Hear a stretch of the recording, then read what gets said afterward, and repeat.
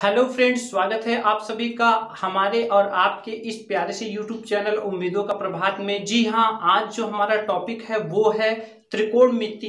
त्रिकोण मिति एक ऐसा टॉपिक है जो कि चाहे हम हाई स्कूल लेवल पे हों, चाहे इंटर लेवल पे हों, चाहे हम आगे कंपटीशन की तैयारी कर रहे हों, हर जगह इसकी इस्तेमाल होती है, इसकी यूज़ होती है। तो आज हम इसके बेसिक चीज़ों को जानेंगे। आज के इस वीडियो में हम जानने वाले हैं त्रिकोणमिति अनुपात किसे कहते हैं और ये मेरा आपसे क्वेश्चन भी है। व्हाट इज़ त्रिकोणियोमेट्रिकल फ़ंक्शन सभी साइन थीटा कॉस थीटा तो पढ़ते हैं, लेकिन वो ये नहीं। अगर आप किसी से भी पूछ लेंगे कि त्रिकोणमिति अनुपात क्या होता है तो वो इधर उधर बस देखने लगेंगे बहुत ही कम लोग होंगे जो बता पाएँगे कि त्रिकोण मिति अनुपात किसे कहते हैं। तो आज हम लोग जानेंगे कि त्रिकोण मिति अनुपात किसे कहते हैं और एक त्रिकोण मिति अनुपात पता होने पर हम कैसे अन्य त्रिकोण मिति अनुपातों को भी ज्ञात कर सकते हैं। तो चलिए समय न गवाते हुए वीडियो शुरू करते हैं। सब्सक्राइब कीजिए उम्मीदों का प्रभात चैनल को और बेल आइकन दबाना ना भूल बात करें त्रिकोण मिति की तो त्रिकोण मिति जो होता है, उसमें किसका अध्ययन किया जाता है? उसमें त्रिभुज और उसकी भुजाओं से संबंधित अध्ययन किया जाता है। त्रिकोण मिति में त्रिभुज और उसकी भुजाओं का अध्ययन किया जाता है। अब बात आती है कि त्रिकोण मिति में सबसे, त्रिकोण मिति में सबसे महत्वपूर्ण क्या है? तो त्रिकोण मिति में सबसे महत्वपूर्ण है समकोण त्रिभुज, जहाँ से इसका जन्म हुआ। जहाँ से त्रिकोण मिति का जन्म हुआ त्रिकोण मिति अनुपात। तो देखिए, यही हम लोगों का क्वेश्चन था त्रिकोण मिति अनुपात किसे कहते हैं? साइन थीटा कॉस थीटा तो सभी पढ़ते हैं, लेकिन ये बहुत कम ही लोग बता पाते हैं। तो देखिए क्या है? किसी समकोण त्रिभुज की किन्हीं दो भुजाओं के अनुपात को, किसी समकोण त्रिभुज किसी सम इसकी परिभाषा होगी, किसी समकोण त्रिभुज की किन्हीं दो भुजाओं के अनुपात को त्रिकोणमिति अनुपात कहते हैं। तो देखिए, यही समकोण त्रिभुज अगर है तो समकोण त्रिभुज में तीन चीज़ें होती हैं। कर्ण होता है, लंब होता है और आधार होता है। अगर हम इसको इंग्लिश में लिखे तो ये बेस होता है, ये परपेंडिकुलर होता है, और ये हाइपोटेनस होता है। इन्हीं का आपस में जो बटा बटा करके जो संबंध होता है, वही होता है त्रिकोणमिति अनुपात। अगर बात करें इसके इतिहास की, कि इसका क्या इतिहास है, इसकी खोज किसने किया तो देखिए इतिहास में इसका खोज में, इसकी खोज में जो है भारत का बहुत महत्वपूर्ण योगदान रहा है। जी हाँ आर्यभट्ट आर्यभट्ट जो कि चार सौ छिहत्तर ईस्वी से पाँच सौ पचास ईस्वी तक थे। उन्होंने एक ग्रंथ दिया था। उस ग्रंथ का क्या नाम था? आर्य सिद्धांत ग्रंथ। आर्य सिद्धांत ग्रंथ उन्होंने लिखा था। और इसमें ही सबसे पहले आर्य सिद्धांत नामक ग्रंथ उन्होंने लिखा था। इसमें ही सबसे पहले ज्या, कोज्या तथा इनके प्रतिलोम यानी कि इनका व्युत्क्रम कि सबसे पहले आ, इन्होंने जो है उसमें ज़िक्र किया था इसमें उन्होंने वर्णन किया था तो आर्यभट्ट को ही त्रिकोणमिति का खोज करता कहा जाता है। यहीं से त्रिकोणमिति की शुरुआत हुई। अब अब आप सोच रहे होंगे कि ये तो खोज करता है। आर्यभट्ट क्या है? आर्यभट्ट तो खोज करता है। लेकिन अगर हम इसके जनक की बात करें, अगर हम इसके जनक की बात करें कि त्रिकोण मिति का जनक कौन है, देखिए, यहाँ पर ये चीज़ बहुत ही इंपॉर्टेंट मैं आपको बता रहा हूँ, आप खोजते खोजते थक जाएँगे, बहुत मुश्किल से ही आपको हो सकता है कि कहीं मिल जाए। देखिए, जो इसके जनक है तो इसके लिए हमें और इतिहास में जाना पड़ेगा और आपको कंफ्यूज नहीं होना है। देखिए ये जो लाल बटी कक्का जो लंब कर्ण आधार वाली बात होती है तो उसका इन्होंने खोज किया है। किसने? आर्यभट्ट ने। लेकिन हमने त्रिकोणमिति में बताया कि त्रिभुज और उसकी भुजाओं का अध्ययन। तो त्रिभुज और उसकी भुजाओं का जो अध्ययन का जो शुरुआत हुआ, जो जनक है, इसके जनक हिपार्कस को माना जाता है। किसको माना जाता है?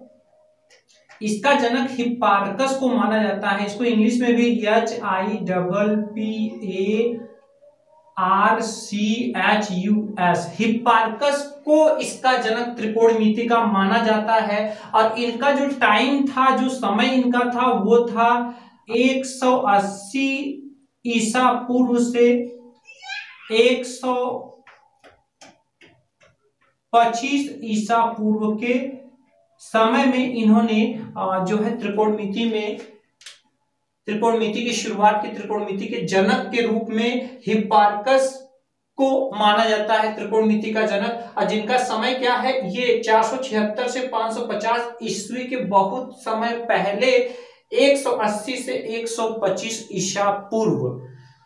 तो अब यहाँ पर आप सोच रहे होंगे कि ये लंब कण आधार तो मुझे बता दिया गया, लेकिन क्या त्रिकोणमिति अनुपात क्या होते हैं, ये भी हम लोगों ने उसकी परिभाषा भी जान लिया। लेकिन ये वास्तव में होता क्या है तो देखिए, ये होता है, यही जो हम लोग अक्सर पढ़ते आए हैं। जैसे देखिए अगर हम बात करें, देखिए, लाल बटे कक्का आप सभी ने पढ़ा हुआ है, लाल बटे कक्का। तो यहाँ पर लाल बटे कक्का क्या कहता है, एल से होता है क्या लंब? के से होता है कर्ण और ए से होता है आधार। ए से क्या होता है? आधार होता है। तो यहाँ पर देखिए, यहाँ पर अगर बात की जाए तो साइन थीटा बराबर क्या होता है? साइन थीटा बराबर होता है लंब बटा कर्ण। साइन थीटा बराबर क्या होता है? लंब बटा कर्ण। क्योंकि देखिए यल से लंब हो गया के से कर्ण, लंब बटा कर्ण। साइन थीटा बराबर लंब बटा कर्ण कॉस थीटा बराबर होता है आधार बटे कर्ण।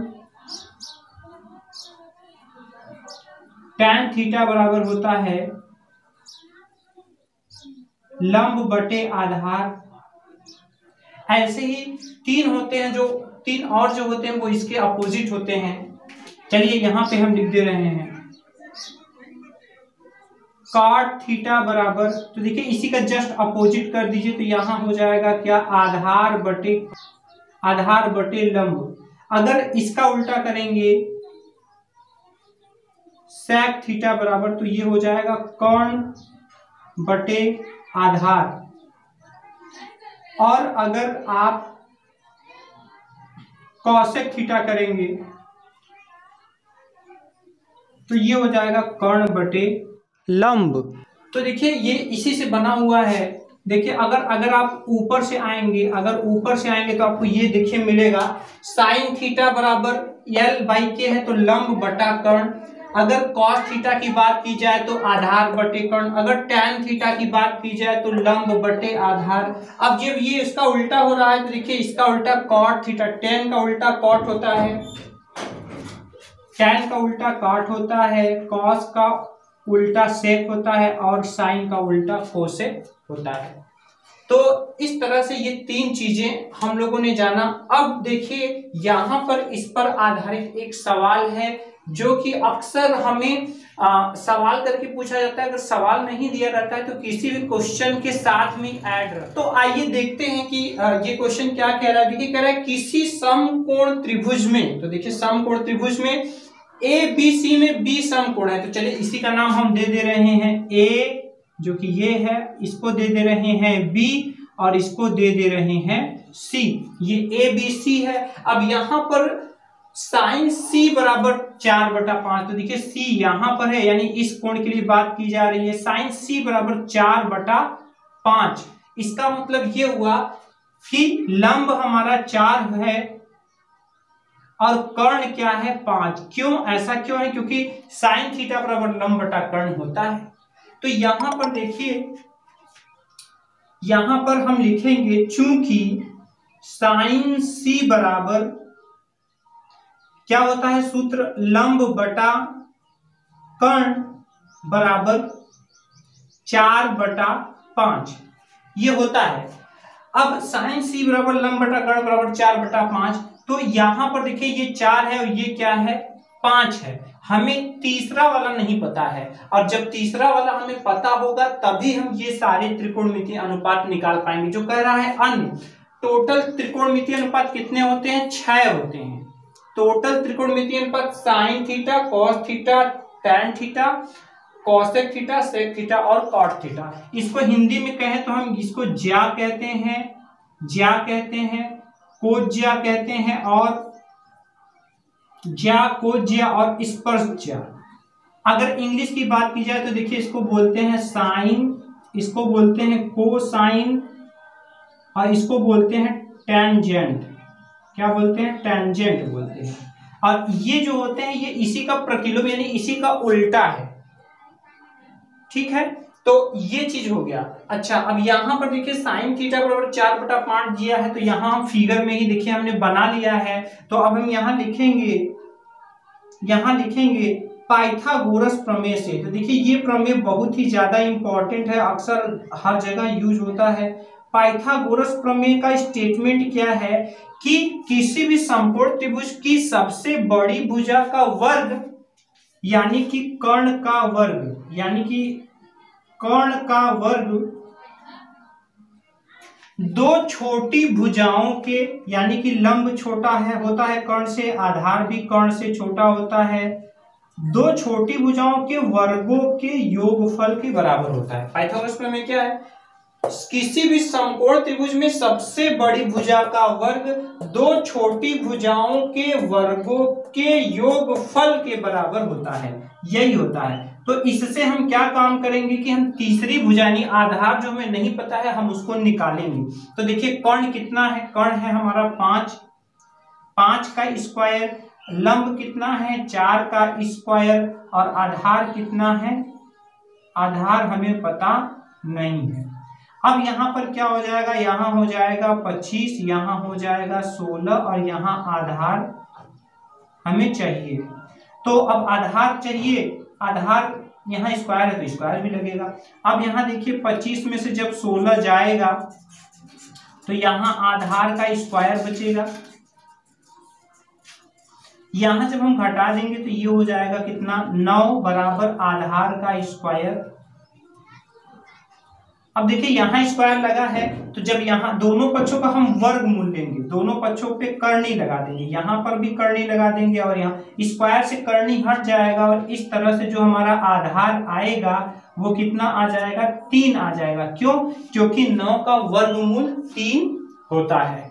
अब यहाँ पर यही, अब जब तीनों वैल्यू हमें लंब, कर्ण, आधार तीनों मिल गए, लंब भी मिल गए, कर्ण भी मिल गया, आधार, जो जो कि त्रिकोणमितीय अनुपात का मूल जो होता है, वो हमें मिल चुका है। अब हम यहाँ पे सारे वैल्यूज़ को, यानी सारे अन्य त्रिकोणमितीय अनुपात साइन सी हमें पता है, अन्य पूछ रहा है, यानी छह होता है तो छ में से एक हमें दे दिया है, पाँच हमें पता लगाना है।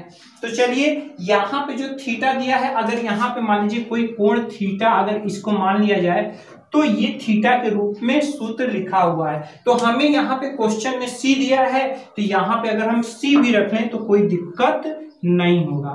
तो चलिए हम इसको सी ही मान ले रहे हैं। सबको थीटा के बजाय क्या ले ले रहे हैं? सी क्योंकि यहाँ क्वेश्चन में हमको सी दिया है।